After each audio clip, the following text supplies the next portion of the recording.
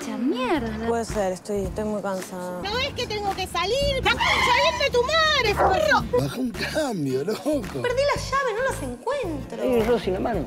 Ah, Vos lo que necesitas es descansar. Te voy a poner el protector, el gorrito.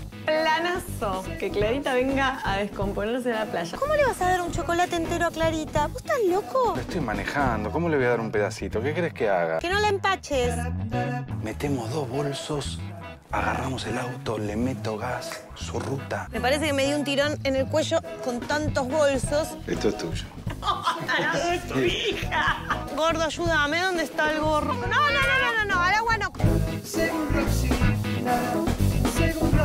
¿Para qué hiciste el arroz? A Clarita le está mal de la panza. ¿Desde cuándo está mal de la panza? Según Roxy.